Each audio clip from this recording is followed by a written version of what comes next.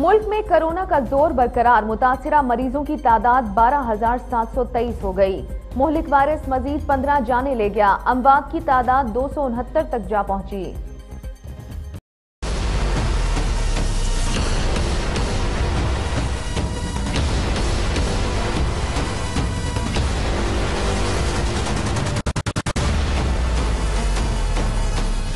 पाकिस्तान में कोरोना ने पंजे गाड़ लिए। सख्त पाबंदियों और लॉकडाउन के बावजूद केसेस और अमवात की शरह बढ़ने लगी। गुजशत 24 घंटों के दौरान मजीद 15 अफराज ज़िंदगी की बाजी हार गए। इंसानियत के लिए इंतहाई मोहलिक साबित होने वाली कोविड 19 की आलमगीर वबा ने मुल्क में दो सौ उनहत्तर जिंदगियों को निगल लिया।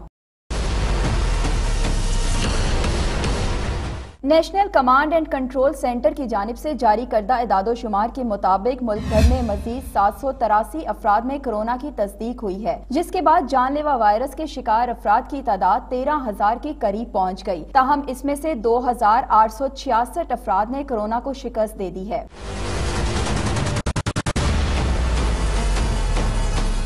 सरकारी एदादो शुमार के मुताबिक पंजाब में कोरोना मरीजों की तादाद पाँच हज़ार तीन सौ अठहत्तर है। इसके अलावा सिंध में चार हज़ार दो सौ बत्तीस, खैबर पख्तूनख्वा एक हज़ार सात सौ तिरानवे, बलोचिस्तान में सात सौ बाईस, इस्लामाबाद में दो सौ पैंतीस, गिलगित बल्तिस्तान में तीन सौ आठ, जबकि आज़ाद कश्मीर में कोरोना के मरीजों की तादाद पचपन हो गई।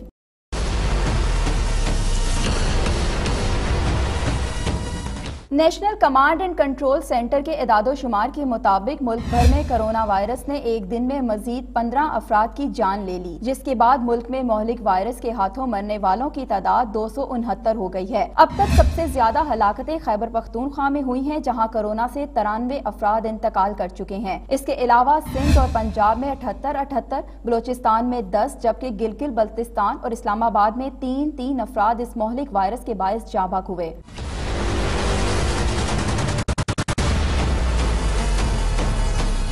आज़ाद कश्मीर में दो सहाफ़ियों में भी कोरोना वायरस की तस्दीक के बाद सेंट्रल प्रेस क्लब मुजफ्फराबाद को एक हफ़्ते के लिए बंद कर दिया गया है।